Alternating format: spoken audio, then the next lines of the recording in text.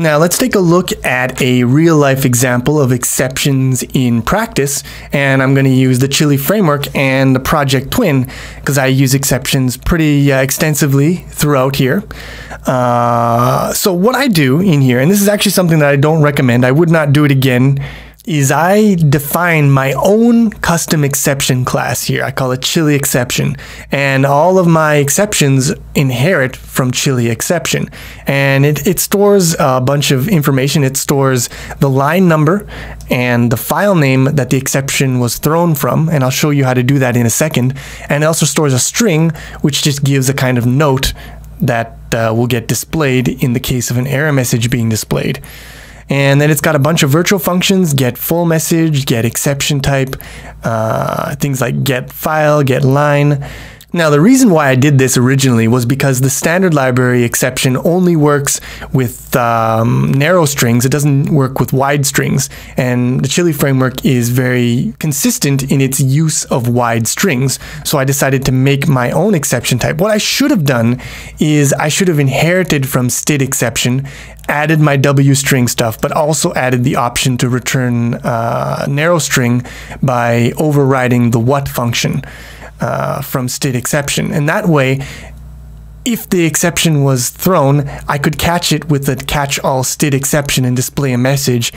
Uh, if all your exceptions inherit from std exception, it makes it easy to catch them and to not miss any and to get useful information when you catch them, not just with a dot dot dot.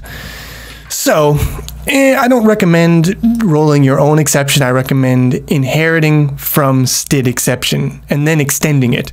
But anyways, that's not a big deal. Let's move on. So I've got chili exception here.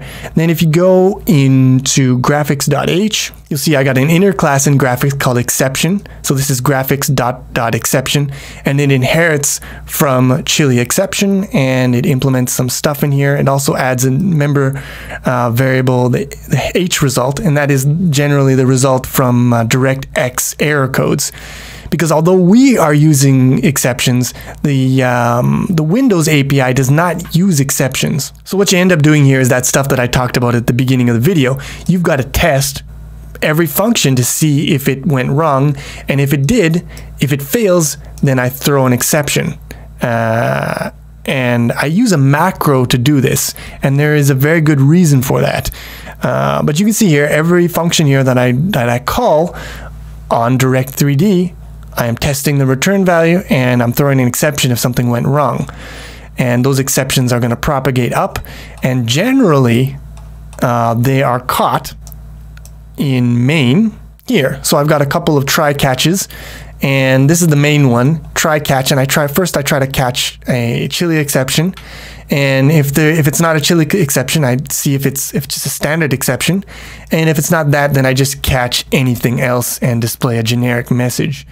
Uh, so here is my try catch. Now the reason why I have double try catches inside of each other is because generally I want to call window main window dot show message box to display the error message.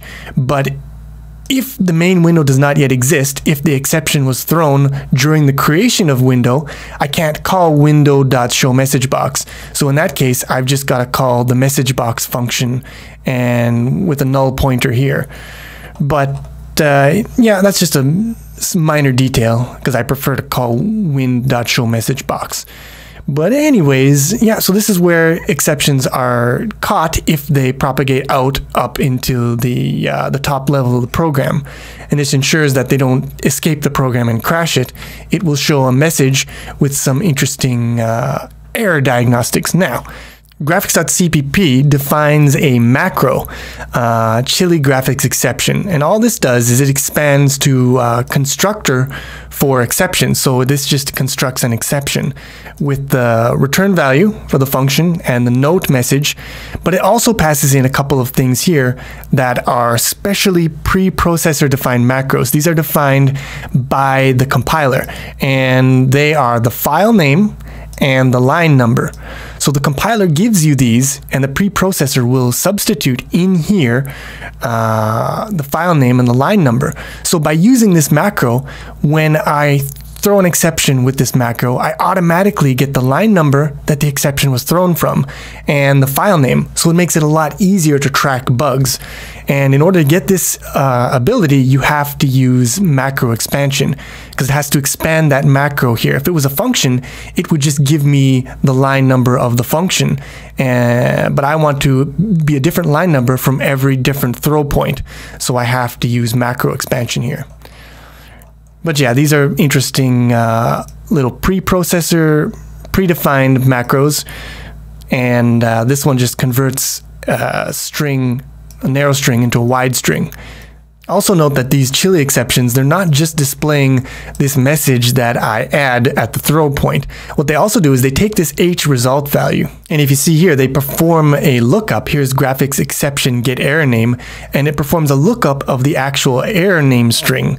Uh, so here's gets error name, get error description. So it performs this lookup conversion from this integer error code into a human readable string, and then it builds all that information together the line number, the uh, the error name, the error string, and the uh, the message that I put in at the throw point. This message here, it puts it all together into one big formatted message. So here you can use your own custom exception types to build very rich and informative diagnostics. And this has helped me out a lot. Like I've had people who have tried to use the framework and they've gotten errors. And normally it would be hard for me to debug their problems remotely from my computer. I don't know what the hell is going on. But because I added all of this diagnostics and all of these throws, I could see directly exactly what line they were having problems on, which function call, and I could get information about the problem and I could help fix their problems and in some cases help improve the uh, framework so that I could work on more people's programs. Now let me show you one more place in the framework that has extensive use of exceptions. So in sound, the constructor of a sound, it is going to load a wave from a file. And here a lot of things can go wrong and you want to report a lot of them as exceptions because they're out of your control as a programmer. Some of them are under your control. You've passed the wrong parameters and I handle those with asserts. But for things that are out of your control, we use exceptions. Now, one thing that is out of your control is file reading, because things can go wrong. Like I said, someone could pull out the USB drive during the middle of a read operation. The file could not exist because the user deleted it from the folder or they didn't uh, extract all the files from a zip or whatever. It doesn't matter. And you want to handle that and you want to notify the user of the error. So, the way that uh, streams work in general is they don't throw exceptions by default. Uh, by default, you have to check their error flags after every operation. But we want to use exceptions, so what I do is I create a file, and then I call file.exceptions, and I turn on the exceptions for failure and for bad. Um, this is using OR to to basically combine these options. I'll, I'll talk about this in, in a future video coming up soon. But anyways, I use this to enable exceptions for this stream. And now whenever something goes wrong, for example, whenever I try to open the file and it doesn't exist, it's going to throw an exception. And here's my try block. So that is going to be caught so here's my catches, and here I'm going to catch a sound system file exception and just a std exception. And if I catch my std exception, what I'm going to do is I'm going to rebuild it as a chili sound exception and rethrow that. So instead of rethrowing the exact same exception, I actually take that exception and convert it into my own type and then throw it again with extra information. Uh, but anyways, yeah, so that is how you can use uh, exceptions with things like the standard library uh, streams. You just enable exceptions like this. Uh, and then again down here, if there are problems with the files, I throw chili sound exception if you got the wrong file format or whatever that is a runtime error. That's not a programmer logic error. That is a runtime error and it should be thrown as an exception. And in general, these exceptions, they get thrown, they propagate up until the main and then they display an error message. But that doesn't have to be the way. And sometimes you can recover from an exception and still proceed and do something meaningful. So in that case, you want to catch it at a lower level. Uh, so let's see where that would happen. So one place where you can catch exceptions and proceed is in the loading of resources like say uh, a sound. So in the sound effect constructor here, I have an option soft fail and it defaults to false. But if you set soft fail to true, what it does is it tries to construct uh, or emplace a sound into the matrix of sounds for the sound effect. And if there's an exception, if something goes wrong, there's a catch here. And if we are in soft fail mode, what it will do is it'll just put an empty sound into there. Uh, but if we're in hard fail, it's going to just throw that exception.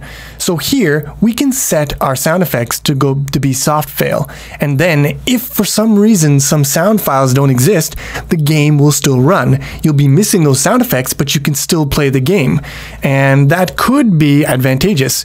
Uh, now what I do here is I check to see if we're in debug mode. Because if we're in debug, that means we're developing, we're not the user. And we want to always know if something is wrong in debug mode. So here, we I will throw regardless. But if I am in uh, release mode, I don't throw in soft fail. I just put an empty sound into the sound matrix. So yeah, there is an example of catching a uh, an error earlier and handling it and not crashing your program. Another example, like I said before, would be you get a disconnection of your internet. Instead of crashing the program, you boot the user back to the lobby and you maybe you try to reconnect to the server then. And that's pretty much all I want to say about exceptions today. Let's review the most important parts, the do's and don'ts of exceptions. So do inherit from std exception. It makes your exceptions a lot easier to catch and handle and to get useful information from do use exceptions for errors that happen and that are out of the programmer control. Things like loading files, things like um, network connections dropping, etc., etc. But do not use exceptions for sanity checks. Instead, use assert for that stuff. Now, you want to throw your exceptions by value, you want to catch them by const reference you do want to use RAII types like smart pointers, like vectors. You want to use them all the time because if you don't, you're playing with fire, especially if you have exceptions being able to be thrown, memory being able to be leaked. So, but if you use RAII like you should be using anyways, then that's not a problem.